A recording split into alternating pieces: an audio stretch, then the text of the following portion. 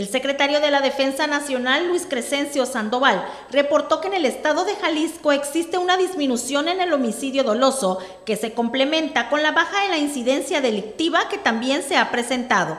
Durante la conferencia de prensa matutina en Zapopan, Jalisco, en su reporte de seguridad, el titular de la Sedena añadió que el robo de vehículos y la extorsión son otros de los rubros a la baja.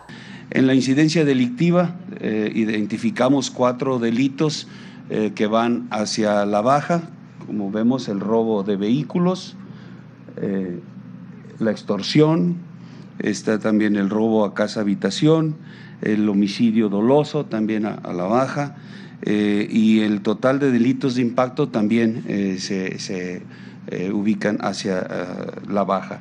tres delitos con una tendencia hacia la alza, lo que es el secuestro, eh, la trata de, personas y el robo a transporte. Eh, en el caso del secuestro hay una cantidad importante de secuestros express, pero a pesar de que está a la alza, el lugar que ocupa el Estado es el 29 lugar.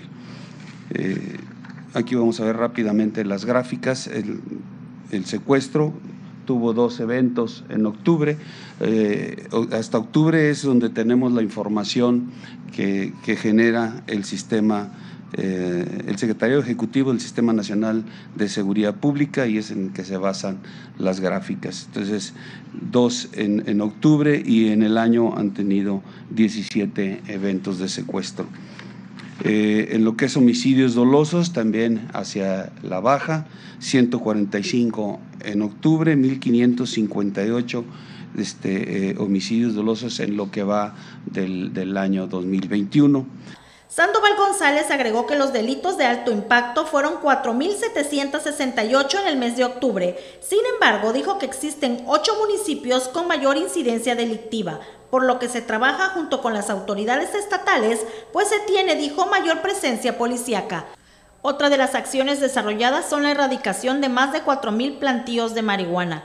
42 toneladas de ella fueron aseguradas, 53 kilogramos de cocaína, 52 kilogramos de fentanilo. También fueron asegurados metanfetamina, 14 laboratorios fueron destruidos y 722 detenidos, entre otras acciones realizadas en el combate a la delincuencia.